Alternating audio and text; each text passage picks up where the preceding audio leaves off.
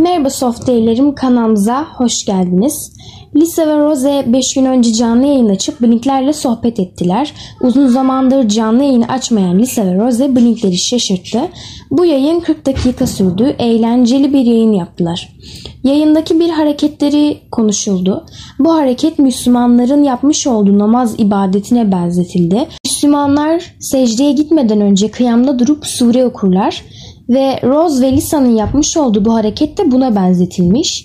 Şimdi o videoya bakalım.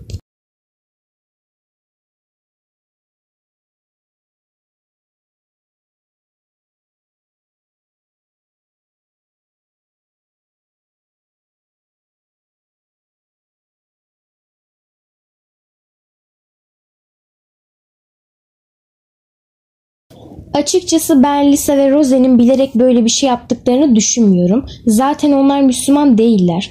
Ama Müslümanlığı duyup namazı biliyor olabilirler. Çünkü dünyada çok fazla Müslüman var ve çok sayıda Müslüman blink var. Ama cidden videoya bakarsak namaz kılıyorlar gibi bir görüntü ortaya çıkmış. Bir de sessiz bir şekilde o hareketi yapıyorlar. Yani ilginç. Sizin konu hakkındaki düşünceleriniz neler yorumlara yazın. Sonraki videolarımdan haberdar olmak için abone olmayı ve like atmayı da unutmayın. Kendinize iyi bakın. Bay bay.